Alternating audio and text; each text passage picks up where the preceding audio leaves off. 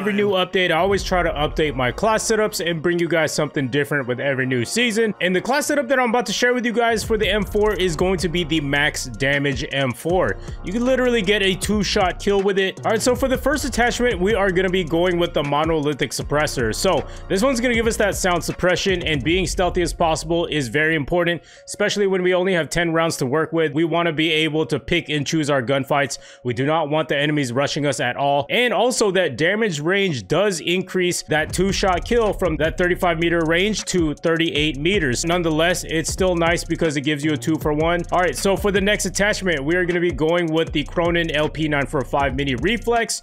This one is optional. You don't need to use the reflex if you don't want to. However, I do highly recommend one because when you're only rocking with 10 rounds per magazine, you definitely need to hit all of your shots. If you don't hit all your shots and you're not precise, you're going to be in a lot of trouble. So that's another thing that you got to keep in mind when you're using this class setup. All right, so for the next attachment, we're actually going to be using a perk and we're going to be using fully loaded. So when you only have 10 rounds to work with and you're getting into a lot of engagements, since we're not using the traditional 556 rounds, you are unlikely going to find that laying around in multiplayer matches. And that's the main reason why we're running with fully loaded so that we can keep continuing with the next gunfight and not really worry too much about running out of ammo. Okay, and for the next attachment, we're going with the stippled grip tape. This one's going to increase our aim down sight speed as well as that sprint to fire speed. So we are going to need this because that monolithic suppressor does decrease the aim down sight speed by just a bit.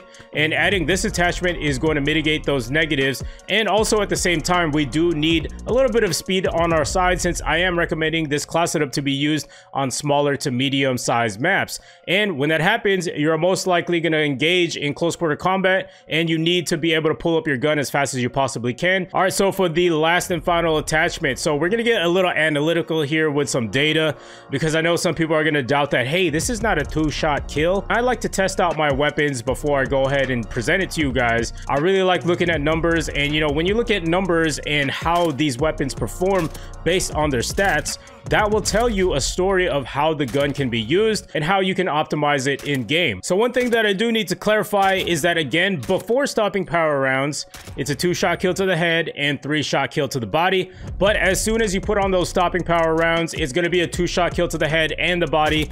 And it doesn't matter what range you're at, it's going to be infinite range two shot kill, which is what makes this M4 a high damage profile weapon. All right, so there are other key components to this class setup that you need to know about as well such as the perks. So for perk number one, I'm using the quick fix perk because mainly when you are engaging in gunfights and you only have 10 bullets to work with, after you get a kill, you're most likely going to be hurt and you're going to be surrounded by enemies. The last thing you want to worry about is your health. So having quick fix after you kill an enemy is going to automatically heal you as soon as you finish that gunfight. So that's just personal preference. You can run whatever you want to for perk one. Now for perk two, I'm using ghost. Obviously, we want to stay stealthy. We want to be undetected when they call in those UAVs. Now for the third perk, you need to run tune up. This is going to help tremendously earn your stopping power rounds that much faster and why I recommend using the tune up perk. Right, so for the next portion of the video, I'm going to be breaking down a gameplay of me using this exact same class setup, and I'm going to be walking through why I'm doing what I'm doing and how I'm effectively using this exact same class setup if you guys are curious how I would personally use this in certain situations. And if you came here just for the class setup, consider leaving a like before you click off the video. It really show me that this is the kind of content that you want to continue to see. And make sure to subscribe if you are new around here. Why not join Turbo Nation today? Make it official. Subscribe today so you never miss another new video. As for the rest of you guys, I will see you guys in the next portion of the video. Peace.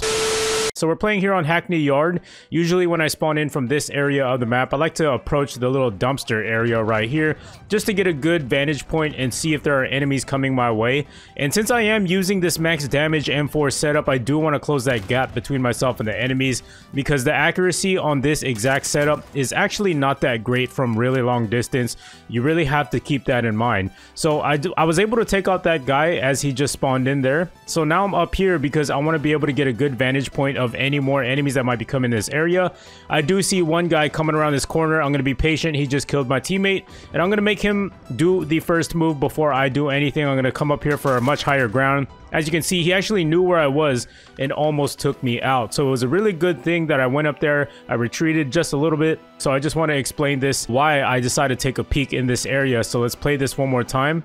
And I'm going to pause it right here. So, so I just killed the enemy that was here in this area. Now, if you look at my mini map, all my teammates are on this half of the map. So that's another reason why I like Hackney Yard is because it's a traditional three lane map. As you can see, my teammates are in the, we'll call it the third lane of the map and I'm in the second lane. So that means that this first whole lane here is most likely going to be where enemies are at.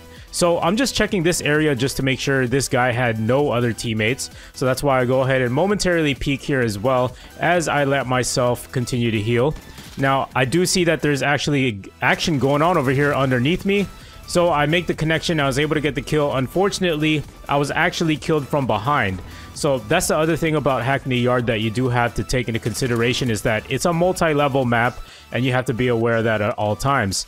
So I was able to take out that guy who was just camping our spawn and I'm going to pre-aim down this line of sight because this is where I'm expecting enemies to be and where I was killed last. So I do see this guy, he tries to pursue me, and I went ahead and got a little mini flank, if you will. So let me explain that one more time here. As I approach this corner, I do know that there's enemies here for a fact, and if you take a look right there, there is an enemy, so that's why I quickly got out of the way. I faked that I was gonna go to the right. So as you can see, he tried to shoot me, and his first instinct was to go after me. Now, I was going to challenge this guy because I knew that I could melt him with this setup. However, he decided to go ahead and chase me and, and switch his location up here and I was able to take him out there. So, so as you can see, it's really all about how to outsmart your opponents, and that's also something that you need to consider as well when you're playing. So me going on top of this box, there's a main reason for that. It's because I know for a fact that this is the area in front of me where the enemies are spawning in from because they're obviously not spawning in behind me. All my teammates are in this area, and that's another thing that you need to pay attention to if you're trying to learn how the spawns flip and how they work and such like that. So that's why I'm looking in this direction and I'm expecting enemies to come back through this way. That's why I went ahead on top of this box for the good head glitch and I'm going to pre-aim down here. And luckily, an enemy appeared right away. Usually I like to wait a couple seconds. If there's nothing there, then I'll probably move up and, and slowly advance my way towards their spawn. So as you can see there, I made good use of my C4 and in that situation, it was the smarter thing to do because if I were to try to engage in a gunfight, there was about a 50% chance that that guy could have killed me. Now also, I also did enable my stopping power rounds, so this is going to give me that two-shot kill. And now I see on my minimap that there actually are opponents approaching me. They know that I'm here in the second level of this office building. So again, what are we going to do? We're going to outsmart the enemies and we're going to switch our location. You never want to stay in the same spot. Always be on the move, get a kill, and move. So here we are. I'm going to go ahead and get this guy for the flank. I see him pinging on that mini map. That red dot is becoming closer and closer. I'm listening for his footsteps. He's going around the corner right there. He's about to engage with my teammate, and I was able to get the kill and clean up that whole entire situation. So my teammate actually just died below here, and that's why I'm paying attention to this area. I'm going to pre-aim here. Nothing. Teammate actually died right behind me if you guys didn't notice. Look at the mini-map one more time. Alright. There's my teammate. He died. So that's a prompt for me to go inside and investigate and there's the enemy who killed him. So always be aware of your minimap. The minimap literally tells you everything you need to know in this game. It's very underrated and it's actually quite surprising how little most players don't even utilize that minimap. So here you go, that that white skull is an indicator that my teammate just died, so I went ahead and investigated the situation. I was able to take out the guy at the stairs. So whenever there's a teammate nearby that just died, I always try to make sense of where the opponents are at at all times. You know, how did my teammate die? And then I also try to listen for sounds. You know, sounds is huge in this game and why you need to have the optimal settings for sound to be able to sound where enemies are coming in from. So as you can see, with these stopping power rounds, this setup is absolutely amazing and it's indestructible. Now, here's one little detail that is going to pay off huge is that if you take a look at where my teammate is, he's got the bottom floor covered. So what I want to do now is I want to cover more ground because if I were to bunch up with my teammate here, this person that was up here who has the height advantage is going to take both of us out and that would be a very bad situation. So that's why I come up here to cover more ground and that's part of what being a good and smart teammate is. So that's why I was able to take out this guy. As you can see, he was right there. Imagine if me and my teammate were down there, he would have gotten us both killed. And that, again, is another example of why high ground actually matters in this game. Okay, so my teammates engaging in gunfight, and they are now moving forward. So when my teammates are moving forward like that, that tells me that I'm able to move forward as well. But them moving up and them not dying shows that the area is clear. Because obviously if there's enemies there, my teammates are going to die, and that's a red flag for me to stay away from that situation. So let's go ahead and play it out here. I'm pre-aiming. I'm actually being shot at, so I'm going to retreat. I'm going to retreat. I'm going to get high ground here. I'm going to pre-aim into the windows. There's nothing. I'm looking around. I'm looking for where this guy is. And you know what? There, there was really nothing I can do in that situation. I had good positioning, good high ground and the guy just simply outplayed me there. He played a really good game of hide and seek. So now I just called in my white phosphorus. Usually I like to call in my advanced UAV first before I call in the white phosphorus so that I know exactly where the enemies are coming in from. But unfortunately, it just didn't happen that way and I decided, you know what, it's better I just call it in now. So what I'm doing now is I'm going to try to gatekeep the enemies from advancing forward into the map. And if you can see here, all my teammates are in line with me or behind me. So that must mean that the enemies are going to be from here. Basically, I'm just going to wait for them to come to me. You know, there's a white phosphorus outside. As you can see by the hit markers on my screen, that means that people are actually getting hurt from it. So now I'm going to slowly advance my way into their spawn. As you can see, my teammates are moving up here as well. So that's another thing that you need to pay attention to is how I move around this map. You know, I move around this map with my teammates, but staying in my own lane to cover more ground. So now I'm traversing up here, and I was able to take out that guy that was on top of that wall. And I do notice that my teammate over here on the minimap is engaging in a gunfight, so this is a really good power position as well, because you do get a clear view of the enemy spawn if they're spawning from that area.